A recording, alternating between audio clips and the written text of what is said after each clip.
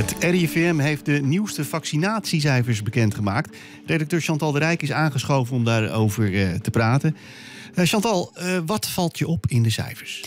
Nou, in vergelijking met de rest van Nederland heeft Urk de laagste vaccinatiegraad van echt het land.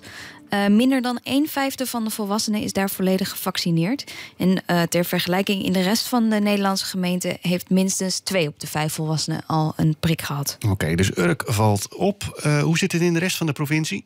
Nou, in alle andere Flevolandse gemeenten is minstens 40% van de volwassenen volledig gevaccineerd. Ruim 60% heeft in ieder geval de eerste prik al gehad. En zijn er nog verschillen in leeftijden? Ja, maar dat is natuurlijk ook niet zo heel erg gek. Want over het algemeen geldt uh, hoe jonger je bent, hoe later je pas de uitnodiging hebt gekregen voor de uh, vaccinatie.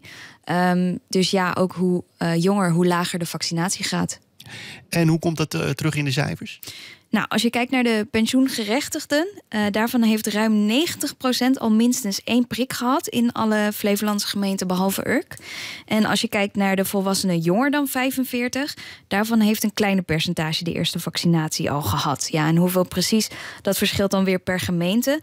Maar de vaccinatiegraad ligt over het algemeen tussen de 40 en de 74 procent. Zijn er nog Flevolandse gemeenten waar relatief veel mensen zich laten vaccineren? Ja, uh, Dronten is dat. Uh, daar is bijvoorbeeld ruim ruim 90% van de pensioengerechtigden al volledig gevaccineerd. En ook in de andere leeftijdsgroepen gaat het daar hard. Oké, nou een overzicht van de vaccinatiegraad in de verschillende gemeenten is terug te vinden op onze website. Dat is omroepflevoland.nl. Chantal, bedankt.